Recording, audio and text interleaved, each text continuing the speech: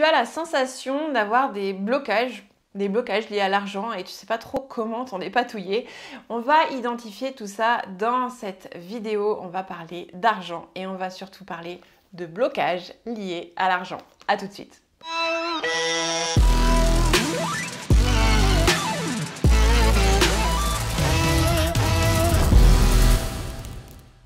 Bienvenue à toi pour cette nouvelle vidéo. Je m'appelle Léa, je suis coach business. Tu peux me trouver sur Instagram sous Cafteuse, c'est euh, mon pseudonyme et euh, j'accompagne des entrepreneuses et des porteuses de projets à développer leur entreprise, à faire plus de chiffres d'affaires et bien évidemment, on arrive souvent à la question de l'argent et des blocages liés à l'argent. Donc ce conseil concret pour identifier tes blocages liés à l'argent, eh bien euh, je me suis inspirée d'un livre qui s'appelle Les secrets d'un esprit millionnaire de T. Harv Eker. Je te mettrai euh, les références sous cette vidéo. Ce livre est super intéressant, évidemment, je te conseille de le lire. Et euh, en fait, euh, il y a un concept que j'aime beaucoup dans ce bouquin qui est nos résultats, ok, nos résultats financiers, eh bien, dépendent d'une programmation. Alors ça, on s'en doute un petit peu. Euh, l'idée, c'est de se demander qu'est-ce qu'on a vécu, qu'est-ce qu'on a entendu, qu'est-ce qu'on a expérimenté en tant qu'enfant qui nous a marqué et qui fait qu'on est l'adulte qu'on est aujourd'hui et avec nos comportements vis-à-vis de l'argent. Donc en fait, il part de l'idée, et ça, ça revient un petit peu à la vidéo conseil concret pour t'auto-coacher que j'ai fait euh, précédemment. Donc je t'invite à aller voir si tu veux euh, regarder cette vidéo pour savoir comment t'auto-coacher. Eh bien, on en revient un petit peu à cette idée-là, qu'en fait, nos programmations, euh, celles qu'on nous a implémentées, si je peux dire, un petit peu comme un ordinateur quand on était enfant, eh bien, elles vont avoir pour impact d'influencer nos pensées. Ok? Encore une fois, nos pensées vont donner lieu à des sentiments. Donc, euh, T. Harv Eker parle de sentiments plutôt que d'émotions. Pour moi, je pense que ce serait plutôt émotion. Mais bon, c'est ok. Euh, pas tout à fait la même chose, mais c'est pas grave. Donc, pensées qui amènent à des sentiments ou à des émotions et euh, qui vont du coup entraîner des actions. Donc, c'est réellement ce qu'on a vu dans la vidéo précédente, précédente sur l'auto-coaching. Sauf que là, on parle vraiment de l'idée de base, c'est que c'est notre programmation qui influe sur nos pensées. Nos pensées influent sur nos émotions et effectivement, on prend des actions en fonction de nos émotions. Donc l'idée, c'est euh, de se dire, ce qu'on a entendu en tant qu'enfant, ça reste inscrit dans notre subconscient. Le problème du subconscient, c'est qu'on est bien d'accord, ce n'est pas conscient. On va mettre en place des actions totalement inconscientes qui vont avoir des résultats plus ou moins heureux. Et, euh, c'est intéressant parce que quand on, rencontre une situation où on doit prendre une décision liée à l'argent, il y a d'un côté la raison et il y a d'un côté l'émotionnel. L'émotionnel qui est lié à cette programmation-là. Et le truc, c'est que bien souvent, la majorité du temps, on prend nos décisions avec la partie émotionnelle, pas la partie rationnelle. Donc si la partie émotionnelle est basée sur une mauvaise programmation, ben, ça, fait des, comptes qui sont dans le rouge, ça fait euh, des décisions euh, catastrophiques au niveau des finances, au niveau des investissements, etc. Donc qu'est-ce qu'on va faire? On va chercher à identifier quelle est notre programmation et je t'invite vraiment à lire ce livre parce qu'il va réellement te permettre de euh, réfléchir à cette programmation avec différentes étapes. Donc, il y a... Alors, ce, bouquin est, fait sur sur plutôt le, la pensée, ok, la pensée millionnaire, l'état d'esprit du millionnaire, pas sur les actions que tu dois poser pour gagner de l'argent. Parce que, encore une fois, ces actions-là, si ta programmation n'est pas bonne, à un moment donné, tu vas les foirer. Tu auras beau savoir tout ce qu'il faut faire pour investir au bon endroit, etc., etc. Si ta programmation de base est mauvaise, à un moment donné, tu poseras l'action qui va tout, qui va tout, euh, qui va tout foirer. ok donc, euh, T. Harv Ecker propose un, exercice, je regarde mes notes, je regarde le bouquin en même temps, j'espère que c'est ok pour toi, euh, propose un exercice très simple.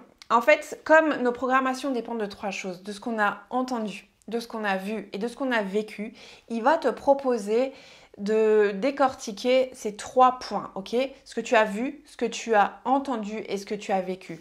Donc il va te proposer des questions en fonction de ces trois points. La première question pour ce que tu as vu va être d'écrire tout ce que euh, entendu pardon, c'est d'écrire tout ce que tu as entendu dire sur l'argent quand tu étais enfant.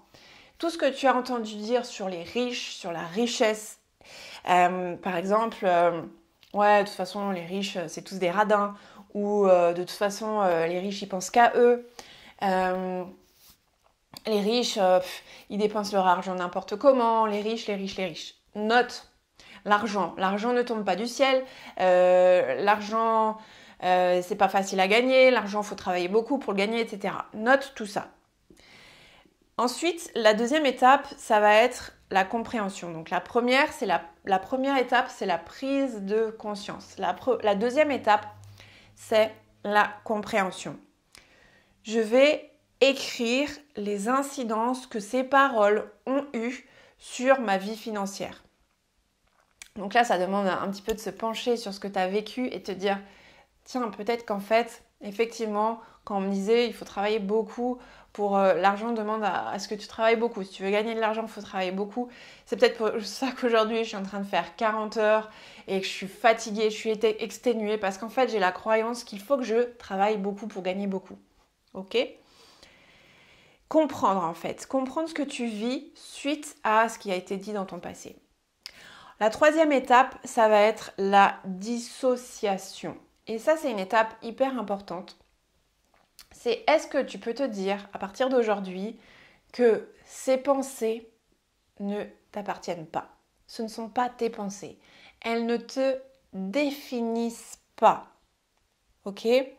C'est ce que tu as appris. C'est euh, et c'est pas du tout ce que tu es.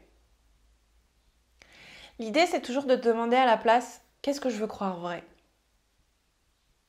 Et c'est là qu'on en arrive à la, euh, comme ça, à la quatrième étape où euh, son nom est imprononçable, hein, T. Harv Eker euh, nous propose des déclarations. Donc en fait, il part du principe que on doit rééduquer le subconscient, enfin oui, le subconscient, on va lui donner de nouveaux messages et euh, il propose des déclarations. Donc l'idée de la déclaration, c'est de la dire à voix haute. Donc je vais le faire, je vais te dire la première déclaration pour ce que tu as entendu.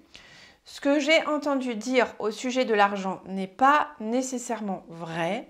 Je choisis d'adopter de nouvelles façons de penser qui favorisent le bonheur et la réussite. Et ensuite, il nous demande de nous toucher la tête et de dire j'ai un esprit millionnaire. Donc ça, tu peux le répéter plusieurs fois si tu veux. Je vais mettre tout le détail dans le descriptif de cette vidéo si tu veux en bénéficier, bien sûr.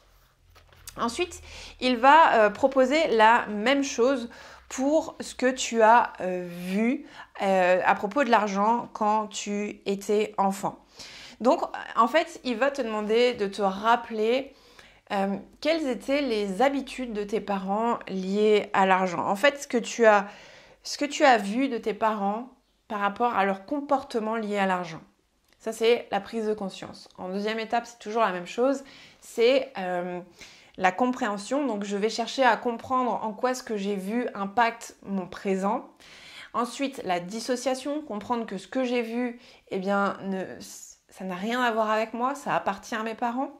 Qu'est-ce que je veux croire vrai, moi Et enfin, la déclaration qui est ma façon d'agir par rapport à l'argent, ma façon d'agir par rapport à l'argent était leur façon de faire. Je choisis maintenant la mienne. J'ai un esprit millionnaire. Ok? Ma façon d'agir par rapport à l'argent était leur façon de faire. Je choisis maintenant la mienne. J'ai un esprit millionnaire. Encore une fois, tu retrouveras tout ça sous la vidéo. Et puis, il y a euh, le dernier point qui est qu'est-ce que tu as vécu lié à l'argent quand tu étais jeune. Donc là, la prise de conscience, la première étape, c'est toujours la même chose, c'est de considérer un événement spécifique et où il y a eu de l'émotion, où euh, il s'est passé quelque chose euh, lié à l'argent. Donc une expérience liée à l'argent qui a amené une émotion quand tu étais plus jeune. Tu vas ensuite chercher à comprendre, deuxième étape, compréhension, qu'est-ce que cet événement spécifique a euh, amené comme résultat dans ta vie actuelle. Et ensuite, la dissociation. Cet événement-là, ok, c'était juste à ce moment-là, ça ne fait absolument pas partie de la personne que je suis. Qu'est-ce que je veux croire vrai Et ensuite, évidemment, encore une fois, la déclaration en quatrième étape. Donc, je laisse aller mes expériences passées nuisibles en matière d'argent et je me crée un nouvel avenir riche.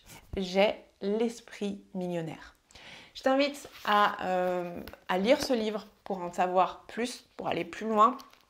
Moi, c'est un livre que j'ai beaucoup lu, tu vois, j'ai euh, je l'ai surligné, etc. J'ai fait faire quelques exercices euh, à mes élèves euh, de la Cafteuse Business School, donc, qui est l'école dans laquelle je leur apprends à entreprendre et à mettre leur business au service de leur vie. Et s'il y a bien un truc que j'ai compris, c'est à quel point nos pensées ont un pouvoir sur nos résultats. Donc je travaille énormément sur les pensées, sur l'état d'esprit. L'état d'esprit a une influence énorme sur ce que tu vis, ok? Ce que tu vis, c'est juste le résultat de tes pensées. Donc, intéresse-toi à ce bouquin. Dis-moi sous cette vidéo si tu as aimé que je te parle d'argent, que je me base sur ce livre que je te conseille. Et, pardon. Et je te retrouve très très vite pour un nouveau conseils concrets. Le prochain exercice concret, parce qu'en fait, ce pas des conseils concrets, ce sont des exercices concrets, euh, ça va être pour euh, être plus efficace durant ta journée d'entrepreneuse. Donc, on va parler plus de gestion du temps.